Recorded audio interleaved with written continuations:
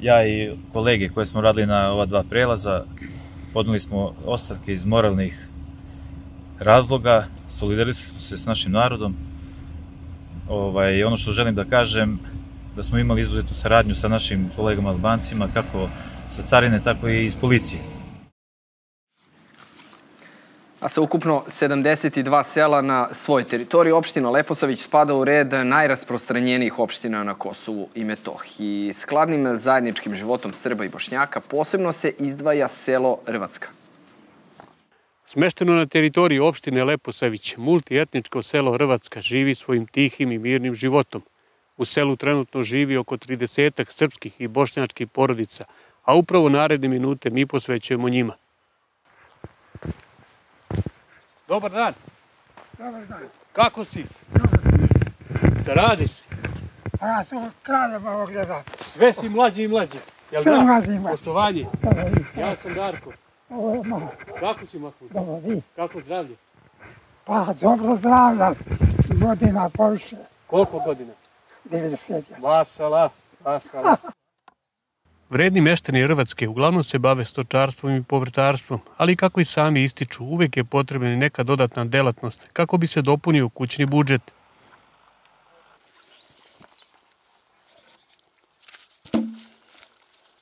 Pa ovde više ljudi žive od poljoprivrede. Drži se pomalo stočice i tako. Seje se žito, rasadi, paprike, sve. Snalazi se narod. Malo socijale, malo primanja i tako to. Ima li mladih ljudi u selu, na drugoj strani sigurno odlaze mladi. Pa mladi već je to više ima, ali zad- ne zadržava se mnogo. Neki brojka, većina je otišlo. Da li inostranstvo, da li pazar, da li kraljevo, uglavno većina stari ostaju. Ono što je posebno karakteristično za tebe, dosta zemlje, dosta stoke, kako stižeš sve? Pa znaš kako, kad čovjek navikne radnu naviku, to ništa mu ne dođe teško. Moramo se boriti. Zima ispred nas, drva spremna. Sve je spremno, sve to je tu i tako. Ima li interesovanja bilo prodaje drva? Kako je Pa jeste, ove godine malo je to i poskupelo, ali pa i nije nešto posebno. Sve je drugo otišlo bez traga. Otišlo je do kraja i sad mora se živi od nečega. Ono što je posebno karakteristično je, možemo reći, multietničko selo. Srbi i Bošnjaci godinama žive zajedno i godinama žive bez problema, što je najbitnije. To je vas da uvijek bilo tako i tako će i da ostane. Znači mi nikad nismo imali problem, niti Srbi s nama, ni mi sa njima. Bilo je svega i ratova svugde, svi mi znamo, ali mi nismo imali problem. Poseban aspekt života u Hrvatskoj pripada složnom i zajedničkom životu Srbi i Bošnjaka, na koji su i sami Hrvačani posebno ponosni. živimo normalno, lepo, od uvek nije bilo nikakvih problema, tu smo ovaj, sarađivali, radili, živeli, družili se, išli u školu i dan danas se družimo svi uzajemno po nešto se i pomažemo i tako to.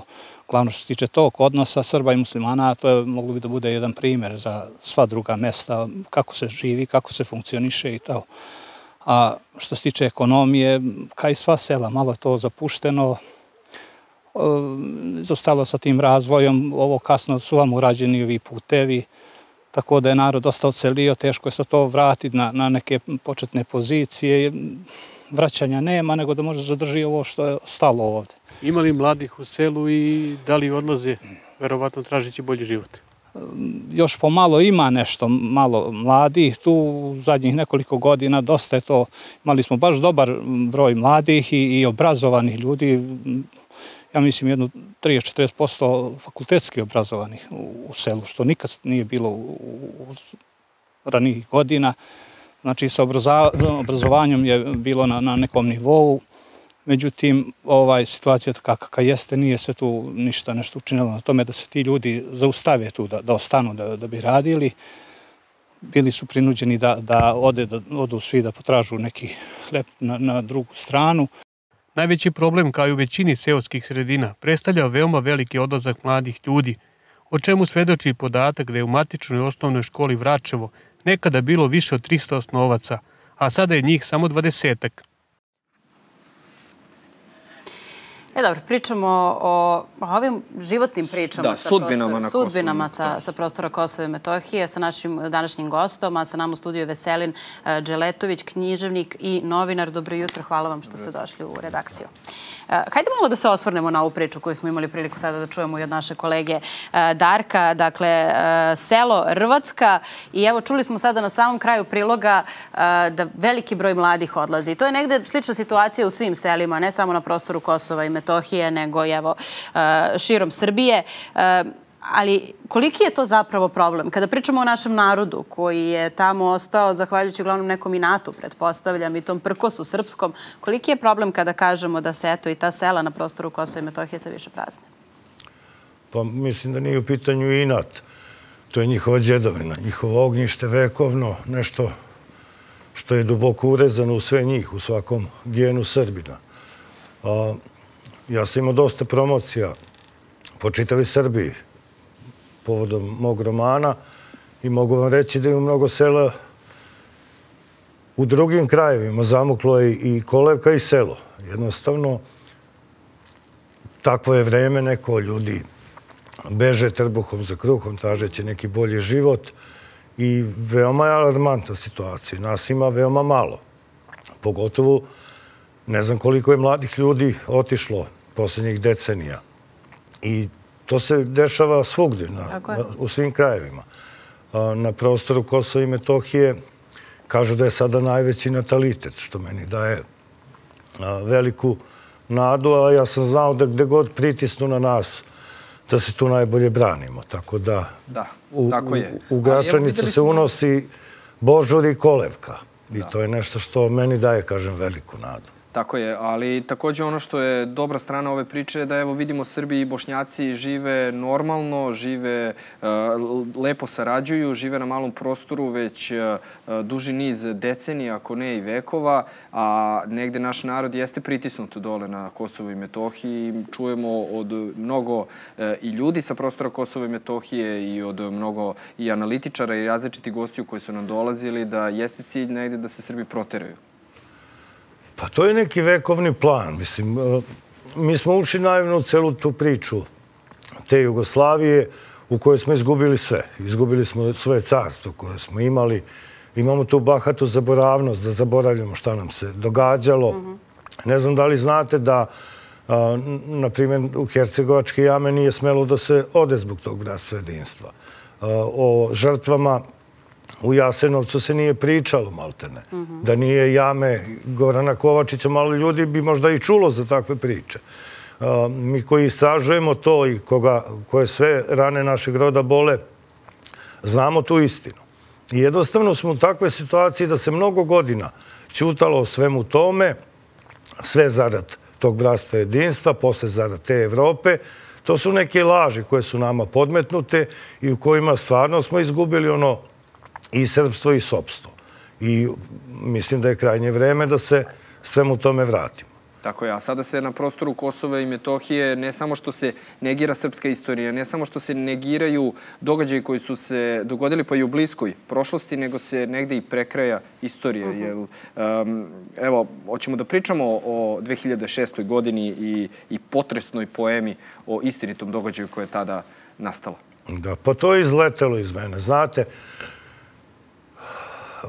kad sam tu priču čuo 2004. godine, ona je u meni izazvala tako veliki bol i to se u meni taložilo dugo vremena i na kraju kad sam odlučio da to prebacim na papir, jednostavno kao iz vulkana je izletelo iz mene. Ja sam poemu... Samo, hoćemo samo naše Da. gledalce da podsjetimo o čemu je Ja tačno sam poemu napisao za dva sata, jer vidite, a, to je doba 2004. godina. Na prostoru Kosova i Metohije, kada se ne govori o trgovini organima, kada nema priče o tome. I moj slučajni susret sa čovekom koji nosi srce Srbina, a, mislim da i nije slučajni, da je to sudbonosno bilo, a, čuvši njegovu priču, ja sam zanemeo. Znači, čovek kaže da je došao i da nosi srce Srbina kidnapovanog sa prostora Kosova i Metohije. Kad je meni ispričao, on je želeo da pomogne porodici čoveka čije srce nosi. Izgleda su ti naši stradalnici koji su bili kidnapovani, bili primorani da potpišu neke papire kao da su donali organa i da su onda Šiptari služeći se podmićivanjem nekako to uspeli da ubace u legalne tokove. Jer ja sumnjam da bi iko koji je Hipokratu položio zaklet mogao da radi tako nešto, a da zna sa, sa čim radi i šta radi. A, susret tog Nemca i tog dečaka, čoveka čije srce nosi, je bio tako dirljiv, a, on je meni kaže da je njegovo srce htelo da iskoči napolje kada je vidio tog malog. Da su čavovi od operacije hteli da popucaju. Da je srce prepoznalo to dete. Da li je to njegova autosugestija? Da li je božanska promisao? Da li srce pamti toliko? To nikad nećemo saznati, ali kažem, priča je tako potresna i priča koja možda ima i dobar kraj. Znate, taj Nemac je, nije mogao da se smiri a, kad je čuo da je majka dečaka izvršila sam ubistvo. Nju su silovali šiptari, petorica šiptara su je silovali. Ona kao svaka časna i, i patrijarhalna žena toliko uniženja i toliko samotu nije mogla da podnese i sveštenik je odbio da održi opelo, pošto je samoubistvo u pitanju. Ja sam, pošto je moj prijatelj veliki, tako sam i došao do tog čoveka, rekao da ona nije počinila samoubistvo, ona je branila svoju čast. Ne možemo reći da je Major Stjepić, da je Stevan Sinđelić, da su počinili samoubistvo. Oni koji su ginuli sa imenom Srbije na usnama samo su branili čast i svoju i svoje države. To je i ona činila. I sve, sveštenik se saglasio sa mnom. Moji se vratili za Beograd. Mi smo kao udruženje pisaca poeta često tamo da tom toplom rečju pomognemo braći i sestrama koji se dole nalaze. Kako se moji vratili, ja sam ostao da odlučio da ostanem i da prisustujem sahrani tog pokojnika. I sad možda bi bilo zanimljivo i da vam kažem kako Dole Srbe ubijaju dva puta. Znači, dole uh, ruše spokoj mrtvih da bi naneli nespokoj živima. Upravo da odu odatle, da ih nateraju da odu. Tamo ruše grobove, tamo je sve zaraslo u korovi šikaru jer ne smete, ne smete da odete, da očistite to. Uh, ču, čuve, čuvate svoju glavu. Ja sam pesnik pre svega i, rekao sam nešto što mislim da je velika istina. Da na Kosovo i Metohiji a, sviću najlepše jutra. Jer jutro znači da ste preživjeli noć. I upravo oni, naša braća i sestre, žive u takvom okruženju. Pod stalnim pritiskom. Oni, oni traju na Kosovo, oni žive tamo od jedne nevolje do druge. Ali jednostavno, upravo zbog toga što je to njihovo, što su tamo naši namastiri, što je tamo pećaršija, Upravo zbog toga su oni odlučni da tamo ostanu i ne može ih niko nikada upravo zbog toga proterati. A, na, ja sam imao i pisaću o tome. Imao sam jednu scenu kad smo bili u kolektivnom obilasku, bili smo na groblju, autobus je da naš je došao i ja sam čuo majku koja viče sine javi se. I mislio sam da je da doziva dete koje se zaigralo tu negde pa se odvojilo od nas, mališa neki. Ne, ona je zvala mrtvog sina da joj se javi jer nije mogla da nađe njegov grob. Oni su znači polupali sve one medmerne ploče. I onda im je to bilo malo što su ih polupali, nego su ih razastrali na sve strane po tom groblju. A znate i sami, na grobljima nemate orijentire, ne možete da se snađete. Majka nije mogla da nađe svog sina. I ona je vrištala, vikala, sine, javi se. To je potesna scena. Ali to je taj pritisak koji se non stop vrši na Srbe. U, u doba ranije, u doba tog njihovog bratstva jedinstva, bio je non stop pritisak. Znači, što verbalno, što e, isterivanje stoke na, na, na ispašu, na vašu livadu, provociranja, napadanja ženske dece, napadanja monahinja, hiljade pritužbi Srba je stizalo sa prostora Kosova i Metohije ovde u Beograd. Niko nije čuo taj vapaj. Nije otkuda nije bilo odjeka. I to je poenta priče, znate, ćutite o tome, to se gomila, to posle pukne u bes i onda to krene nešto nekontrolisano. Tako da treba voditi računa uvek o svom o svom narodu, nažalost, mi to nismo radili. Da, i evo sada ste spomenuli e, te naše e, crkve, znamenite objekte koji su na prostoru Kosova i Metohije i evo malo čas kada je vlada rekao da postoji ta tendencija o prekrajanju istorije, to je nešto što je sada takođe postalo političko pitanje, možemo tako da Pa kažemo, i što prištinske vlasti zloupotrebljavaju i pokušavaju da prikupe neke poene na osnovu nečega što je deo naše istorije, crno na belo. Velike su priče u pitanju. Mi smo suviše mali. Znači, pričamo o broju ljudi. Mala, mala smo zemlja. A, taj pritisak je ogroman. On se ne primećuje možda. Ali to je sinhronizovani napad. Ne pričamo uopšte o šiptarima, koji su tu i veoma malobrojni i nemoćni da radi. Pričamo o velikim silama, koje svoje geostrateške, geopolitičke interese ostvaruju upravo na prostoru Kosova i Metohije. Mene niko ne može da ubedi da ono u Crnoj Gori što se dogodilo. Znači pokušaj da se verski objekti oduzmu od naroda, srpskog naroda i pripišu državi Crnoj Gori je bio direktan napad na Kosovo i Metohiju. Jer da je to prošlo u Crnoj Gori, vi biste to imali na prostoru Kosova i Metohije. Veličanstvenom borbom, odgovorom veličanstvenim litijama i molitvama, jedini odgovor koji je mogao da usledi je srušio tu taj, taj njihov napad. Ali to je stvarno bila jedna veličanstvena odbrana. Mislim da će istorija pokazati veličinu te odbrane, jer mnogi ljudi nisu shvatili uh, srž toga. To je bio direktan napad na Kosovo Metohiju, na naše I svetinje i da su u tom naumu uspeli, verujte mi, A možemo li to sada videti i evo, na primjer, u Kosovskoj Mitrovici prethodnih dana? Dakle, to jedinstvo i to što ste rekli, ta veličanstvena odbrana. Dakle, sve ovo što se dešavalo prethodnih dana, sada vidimo ljude na ulicama koji pokušavaju da ipak odbrane, kao što ste rekli, i čast i dostojanstvo jednog naroda. Jasno, i, narod kad kaže svoju reč, to je glas naroda, ga, glas Boga. Vox populi, vox dei. I to je nešto što, što je velika istina. I narod kad progovori, tu se zna da iza toga stoji i jedinstvo i, i sabornost i sve. I upravo je to uradio a, narod koji je, koji je svikao tamo na sve to što se dešava.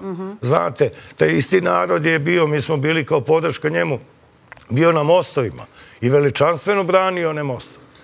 Znači, nije dozvolio da se nikad promeni i da se napravi ta granica koju oni pokušavaju da naprave, a koja nikad ne može da postoji.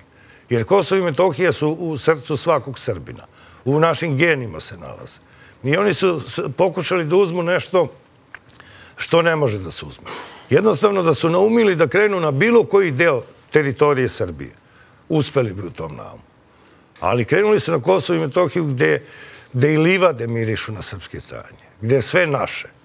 I jednostavno protiv toga se ne može. Protiv te kosovske tapije, protiv Miloševog zaveta, protiv onog što je urezano u sećanje naroda, nešto što, je, što su gusle opjevale, uh, ne možete protiv toga. Oni to nisu još do dan danas shvatili. Mhm. Pa dobro, možda zato što negde nemaju slične primere u svojoj istoriji, pa je malo teško shvatiti Pa oni koliko nemaju to sve... istoriju, verujte Pa, mi. Znate, meni je žao kad kažem malo pre što sam rekao za komunizam, meni je žao što smo mi carstvo izgubili u tom komunizmu. Znate, taj komunizam je od srpskog naroda napravio jednu tabula razu. Svi smo odjednom postali isti. Aha. A zapravo nisu. Svi smo postali nešto, a mi imam i žalosno, i to najviše boli je što su u tom komunizmu opet najviše stradali Srbi. Znači, najviše je Srba stradalo u tom komunizmu. Uza sve što smo pre toga izgubili. Dobro, takva nam je negde sudbina. Ali evo, prvi ste, čini mi se, progovorili o, o svim tim zločinima nad e, Srbima na Kosovu i o lancu trgovine i njihovim organima u, u Žutoj kući. I tada je počelo malo više da se razume u javnosti ili barem glasnije da se šapuće o tome šta se dešavalo u, u, u Žutoj kući. Jeste li svesni svog doprinosa koje ste dali e, toj priči i uopšte značaju te, te, te priče? Nešto što mora da se čuje. Znate, nije to nije to zločin, to je čerečenje naroda. Znači, to nisu bile operacije. To je nešto što svet kad je čuo, on je bio zgrožen tim. Nažalost, ta, taj medijski pritisak, upravo zbog ovih ciljeva o kojima sam pričao, tih velikih sila, da se ćuti o tome, on je ogroman. Ali istina je kao voda i, i taj zločin se ne može sakriti. Pogotovo što je toga bilo ko zna koliko slučajeva. Oni su, napominjem ponovo, oni su dokazali da je bilo trgovine organima. Sad, poslednika Martija, John Clint Williamson, koji je radio izveštaj, on je ponovo rekao da je bilo, ali kaže, desetak slučajeva. Znači, potvrdili su tu priču šiptarsku koju oni pokušavaju sad da, da, da nekom A kako se onda plasiraju. osjećate kada Edi Rama kaže da se to nije dogodilo? Pa, mislim, ne znam kako se on osjeća. Znate, mrtve nije briga za pravdu. Mrtvi ne mogu nikada ostare. Ali nas treba da bude briga za to. Mi moramo da progovorimo o srpskim žrtvama u kojima smo uglavnom ćutali. Mi smo ćutali, kažem, zbog bratstva jedinstva, ćutali smo zbog Evrope, nema više ćutanja. Jednostavno, Ali imate utisak da nema više ćutanja? Da se nešto evo promenilo sada? Pa, A, u promenilo, se- promenilo se mnogo toga. A, sad je nešto gde nemate kud i jednostavno nema više a, tih ciljeva zbog kojih bi se sakrila neka stavična istina. Ja do skora nisam mogao da poverujem da neko nije mogao da odaje na jamu Hercegovačku. Da ljudi nisu znali to. Mi smo okretali glavu od svega što se dešava. Danas, danas ovaj život, ova brzina kojom se živi, nema sakrivanja informacija. Pristupnost svakom deliću, znači svugde možete čuti šta se dogodilo momentalno. A, ono što mene najviše plaši je što je ta pojava koja je učestala a, nije samo na Kosovo i Metohiji. Negdo svugde je prisutna gde su ratovi. Upravo tako. Neki kažu da je ta trgovina organima procvetala sad u doba pandemije. I mnogi kažu da se pitaju zašto su ti kovčezi a, zalivani, zašto nije smelo da se otvara. A, mislim, kad imate neku bolest koja je nepoznata, valjda prvo krećete na nju da ispitate šta je kako je, da se vidi o čemu se tu radi, a ne da zatvarate kovčege i da... Tako da, mislim, ne mogu ništa pričam. A, zvanično o tome, ali mnogo ima priča da se to dešava na svakom ratištu. Meni je, na primjer, protojere Aleksandar Torik, kad su moju knjigu objavili u Moskvi, doživjela, hvala Bogu, tamo tri izdanja, ja sam svima dao besplatna autorska prava, samo da šire tu istinu o stradanju Srba. On mi je rekao, plakao je, kaže, kad je čuo tu priču, ali mi kaže, gospodine Đeletović, ja to nisam objavio samo zbog toga, nego sam objavio zato što se to dešavalo i ruskim vojnicima u Čečeniji. Znači, ta trgovina organima izgleda sve prisutno u svetu. zajednička priča mnogim e, narodima. I evo, za kraj našeg razgovora, e, na jedan zanimljiv način ste predstavili vaš roman Poslednji srpski vitez u krugu porodice glavnog junaka Miloša Ćirkovića. Pro, promovisali ste upravo knjigu koja govori o herojskom činu jednog Srbina iz sela Belo polje pored Peći. I možete li mi onda ispričati nešto malo više i, i o tom slučaju? Ja sam kroz slučaj Miloša Ćirkovića opisao sva stradanja u okolnim selima. I pokušao sam da dam jednu genezu toga šta se dešavalo tamo. Znači, ove žrtve o kojima pričamo, one nisu stradale u, u doba rata. Njih nije odnao ratni vihor. Oni su stradali u doba mira. I to ponavljam i naglašavam uvek i svugde. Koliko je tači zmija, Ramoš Haradinaj, kriv za zverstva koje su činili. Toliko je kriva međunarodna zajednica koja je to dozvolila. Znate, to se radilo pred njihovim očima. Morate shvatiti jednu stvar. Tamo nisu ostali ljudi koji su ratovali. Tamo nisu ostali mladi ljudi. Na Kosovo i Metohiji su tada, posle povlačenja srpske vojske i policije, ostali najnedužniji i najbezazleniji ljudi. Njima je sve to rađeno. Njih su čerečili, njih su kidnapovali. I to, to mora se čuje. Miloš Ćirković je primer čojstva, junaštva, herojstva, nešto nezabeleženo, znate. Svi veliki junaci su imali nekog u sebe. I Sinđelić kad se digu, i Tepić koje, koga sam pomenuo. A, Miloš Ćirković je bio sam u selu. I rekao je da će čuvati kule Ćirkovića i da neće dozvoliti da ih šiptari zauzmu. I čovek koji je ostao sam u selu, okružen teroristima UČK, željnim srpske krvi, to je, to je po meni neviđena hrabrost. I ako Bog da i, i sreće, bit će i film o Milošu Ćirkoviću, jer Mislim da je on to zaslužio. U okolini tog sela su se desili takvi zločini da je to nemoguće opisati.